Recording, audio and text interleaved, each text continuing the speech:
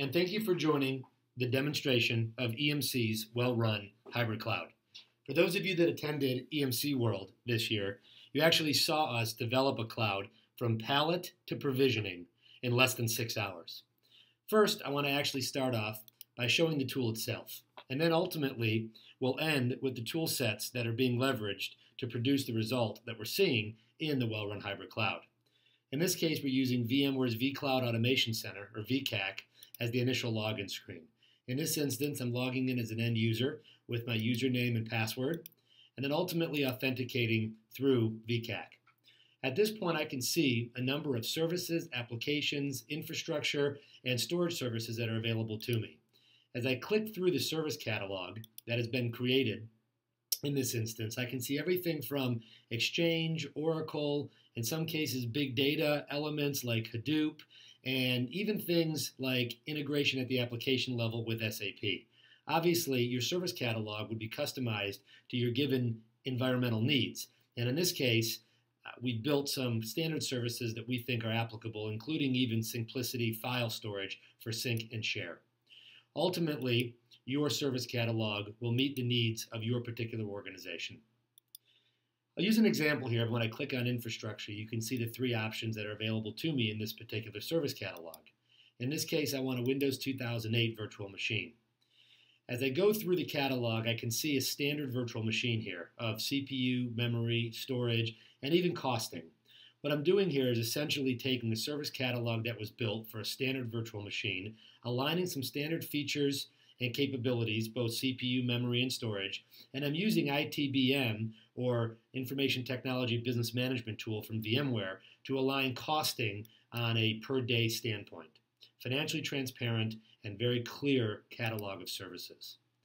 From there, I'll be able to actually customize what I put in my catalog. In this case, I may want additional CPU. I may also want to include a backup service level as well. In this case, I want daily backups for one year. I can go down to the storage tab and I can make adjustments there as well. I may want to edit this from tier 2 storage to something more available, right, or highly available in a tier 1 storage instance.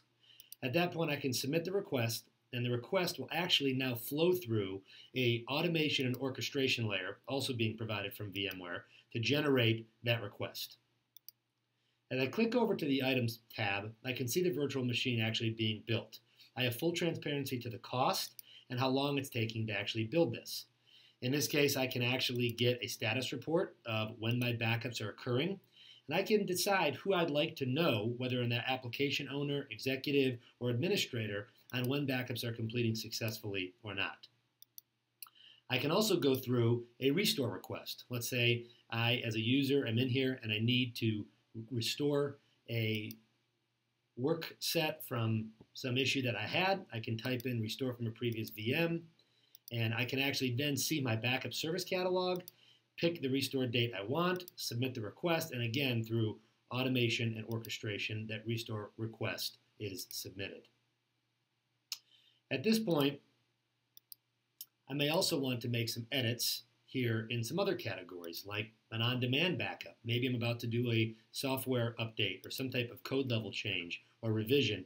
I may want to do a backup that's off my typical rotation. As an end user, I can log in and I can certainly submit that backup request to occur, and that request is going to take place. Let's say time goes on and my requirements change, and I want to go in and edit the capabilities of my virtual machine. In this case, let's say I want some additional CPU for some more high performance scenarios I'm trying to run, some additional memory, and all I do is literally edit those on the fly. Again, the orchestration and automation and underlying hardware takes place. And I can go through and create that reconfiguration. You'll see me refresh the data, and all of a sudden, on the fly, I have made those edits. And obviously, my cost has changed. As I go on here, you can see I can do this in some other instances. In this case, I have an Oracle RAC instance in Boston. I want to provision some additional Oracle instances. I'll provide my passwords, and there I'll have my Oracle instance implemented in Boston, and I can go and I can do the same thing in New York. Again, I'm doing this as an end user without having to necessarily communicate with IT on the tasks that I want to create. Again, these are standard level tasks that have made it into my service catalog. This demo goes on and actually can show a number of other capabilities. Um, in some instances, I may actually log in as a developer and I may get a different set of services. We can do this in fo further follow-up demos on how different uses and views may look from other folks. What I ultimately want to do is spend a quick moment talking about the underlying tools that make up this demonstration. As you can see, the interface I was in was vCloud Automation Center, or VCAC, which ultimately is the end user portal or front end of this solution. I had mentioned ITBM, which essentially we were using as the tool to show chargeback and costing, and I can create different login identifications, whether I'm an administrator, an end user, a developer, and I can make edits to my service catalog and what I can see or not see from a financial transparency standpoint based on who I am and how I logged in.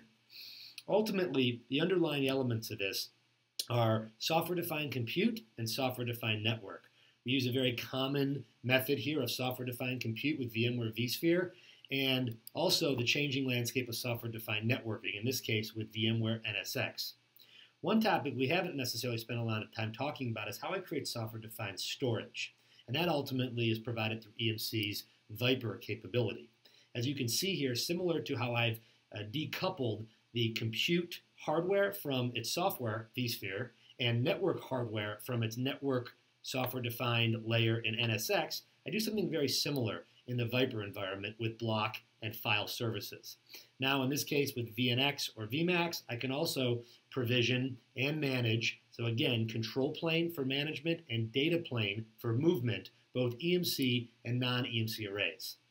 As you can see, this can easily address my second platform apps, which were demonstrated in the demo I just showed. Uh, in that case, I provisioned a Windows server and also some Oracle instances. But when you really think about how else we can integrate the service catalog, we look at this collection of third platform applications, big data applications that may have different use cases. And in this case, I may want to provide different storage services. In the old world, I'd have to go and provision new arrays and new storage services and drive complexity into my environment. But with software-defined storage, I can integrate, for example, scale-out flash for high-performance applications using XtremIO. I may use Isilon for scale out NAS or HDFS data stores to go do Hadoop workloads. In some cases, I might want to use third party uh, hardware and put Scale IO to aggregate compute, server, and network resources with one EMC piece of software and provision that up through ViPR. Or I may want to use third party hardware, whether that was third party hardware that a customer supplied or EMC's ECS solution or Elastic Cloud Service. Either way, this solution allows you to address both second platform and third platform applications with software-defined storage and leveraging that orchestration and automation layer that comes from VMware.